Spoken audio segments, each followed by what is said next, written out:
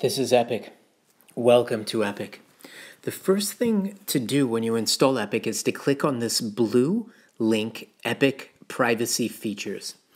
You can enable AdBlock and enable the VPN. Both are highly recommended. Note that when you enable the VPN,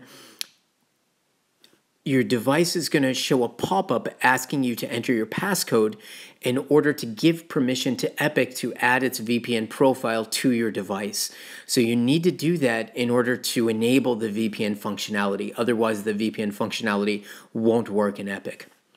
Once you've done that, you'll see you have a VPN option here. I'm going to turn on the VPN right now and you've got seven countries to choose from. It's absolutely free. We have a strict no logging uh, policy, and so you can use the VPN to hide your location. Note that some websites won't load if you have the VPN on, they'll block access via VPN. So then you could just disable the VPN here on the new tab page if you need to. Some websites also won't load if you have ad block enabled. So you can use this menu on the top left, this three line menu, and then click on the Epic icon, and you can disable ad block for any particular website using this control. All the other privacy protections in Epic are enabled by default. So things like our encrypted data, preference, fingerprinting protection, blocking phishing and malware, all of these things are enabled by default in Epic. You don't need to do anything. Here in the settings, it is recommended that you close all tabs and delete browsing data regularly for your privacy. Now you can access the settings again via this menu at the top left, the three line menu, and then this little dial icon at the left. And that opens up Epic settings and the close all tabs and delete browsing data option. Now, there are other features and privacy protections in Epic. So here in the New York Times, so if you see in the New York Times, for example, even if you read just two or three articles a month, they will ask you to log in. So one of the things you can do in Epic is at the top right, uh, with this line icon, you can click on that. At the top right, you can click on that and you can click on text mode.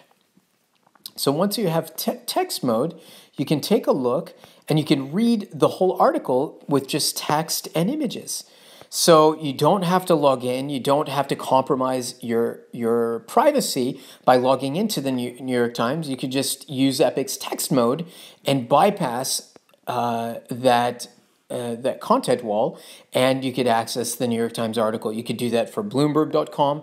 So here's the text and images for an article I read, so I don't have to log in and compromise my privacy. And you could do it for any, for an article at any website if you just want a cleaner reading interface. Some of the other features that are supported in this top right menu, uh, whoops, let me just click back here, cancel. And this top right line menu, if you click on it, you could read the article to you. You can add the article to the audio queue.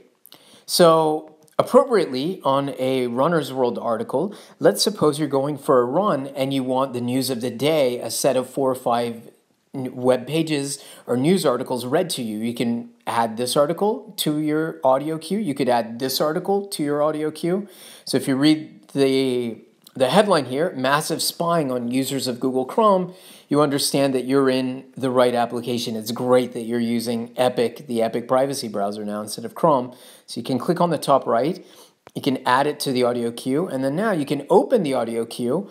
If you click play, Epic will start reading these web pages to you. As race after race was cancelled this spring because. So you can use the audio queue, queue when you're on the go.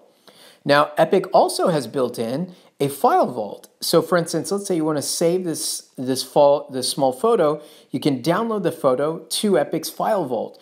Now, if you want to access that vault, you're going to have to enter your password because I put it in the vault, not in normal downloads. You can access the downloads here in the top left three-line menu. Click on the download icon so I don't have anything the, the unencrypted downloads. In the encrypted vault, I have to enter my password. And then I can see here, there's an image here. I can decrypt it, move it to the decrypted downloads, and then I can view it. And here's that image.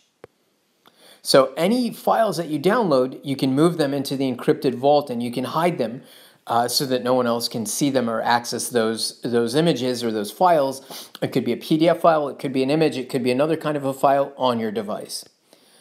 Um, So those are a lot of the features in Epic. You can, in terms of managing your tabs, you can scroll left and right through the tabs, or at the bottom right in the new tab page, you can browse for all the open tabs.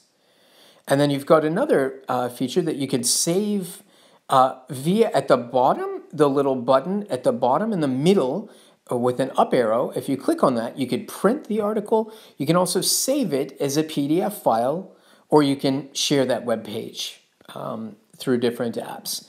Uh, Epic uh, does not have any browsing history. So if you type in FA, it still fills in facebook.com, but that's through a local database. We do not analyze your browsing history. There is no browsing history in Epic, it's in an always on private browsing mode. Uh, down here as well, we don't analyze what websites you visit. So all of these websites are, are set by the user. So you determine which websites you can set here. So that's an introduction to Epic. We hope that you enjoy browsing privately online. We hope you really enjoy the Epic privacy, the privacy experience of Epic and the Epic privacy browser.